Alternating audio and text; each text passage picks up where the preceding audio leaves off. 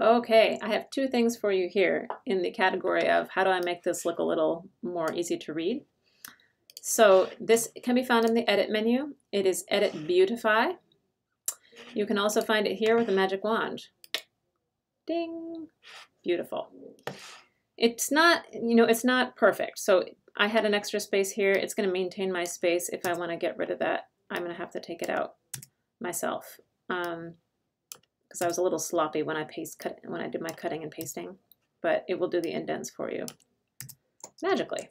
Okay, so that's looking a lot better. Let's do the OL. When it beautified, of course, I probably should have done the tags before I beautified because it couldn't see where my numbers were, or it didn't understand that this was going to be a list. But here is where my list is going to be. So I'm going to take each one of these items and remove. Actually, I'm going to forget where they are, so I'm going to do them one at a time. So I don't think I'm good enough to remember where the numbers started. And then this is going to be my next LI. Okay. Here's my ending LI tag, which will go at the end of each line.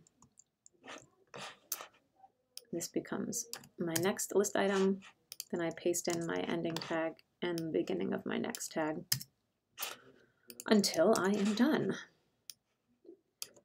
So OL and UL share the same list item tags, LI. Definition list has DT and DD, so it's completely different structure. Here's my, here are my LIs, and now I will proceed to put in the ordered list tag, OL, to surround all of my LIs save and hit the beautify button. Ah, now I can, I like my indents.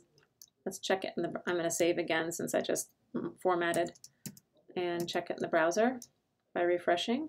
Command R, Control R, or you can also just click the refresh button. And now I have an order, an unordered list and an ordered list here. Um, let's get this whole thing in gear. In the next video, we'll take we'll tackle the description list.